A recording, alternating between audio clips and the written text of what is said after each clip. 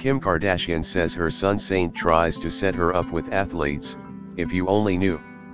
Kim Kardashian may not be ready to get back in the dating scene but her kids want her to be.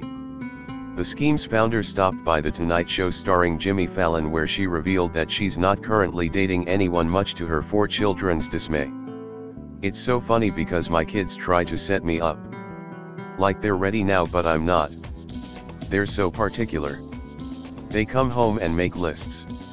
Kardashian shares 11-year-old North 8-year-old Saint 6-year-old Chicago and 5-year-old Psalm with her ex-husband Kanye West.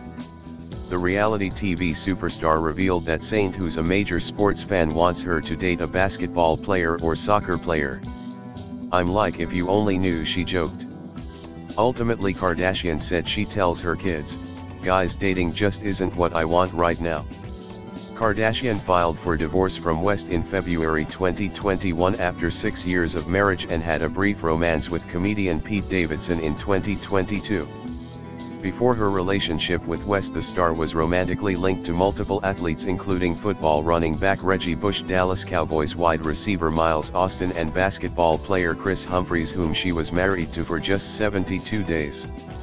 Most recently in fall 2023 Kardashian was rumored to be dating Baltimore Ravens wide receiver Odell Beckham Jr.